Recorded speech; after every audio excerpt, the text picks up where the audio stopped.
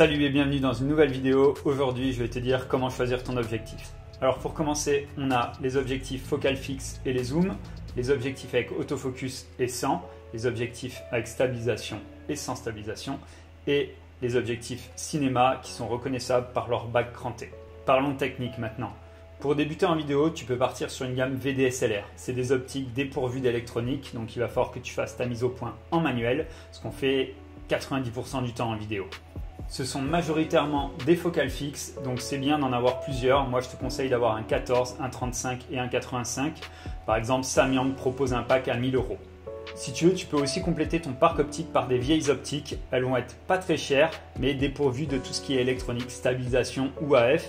Par contre, très souvent, on trouve de très très bonnes optiques avec un très bon piqué et elles sont pas chères. Donc voilà, ça peut être intéressant pour débuter. Pourquoi j'utilise majoritairement le manuel focus? Il y a deux raisons. La première, c'est que je trouve qu'on a nettement plus de créativité quand on va pouvoir faire sa mise au point manuellement. On va pouvoir faire des effets avec la mise au point. Donc déjà, ça c'est la première chose. Je trouve que c'est vraiment super de pouvoir créer quelque chose en plus qu'on n'aura pas avec un autofocus vu que lui il va faire les choses automatiquement. Le deuxième point, c'est que la technologie n'est pas encore parfaite sur l'autofocus et on va avoir très souvent des effets de pompage et là les plans ils sont inexploitables. Donc euh, je préfère rester en manuel comme ça je maîtrise à 100% mon focus. Après si tu te sens pas très à l'aise avec le manuel focus, tu peux commencer avec un objectif qui dispose d'un AF et après quand tu te le sens, tu feras du manuel focus. Un objectif que je peux vraiment te conseiller si tu fais du mariage, du reportage ou de l'after movie, c'est le 24-70 f2.8. Pourquoi? Pour deux raisons.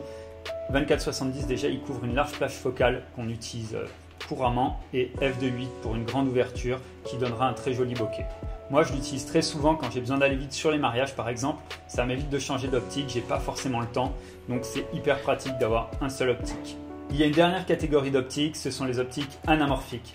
Ils ont un très joli lens flare et on retrouve les letterbox comme au cinéma.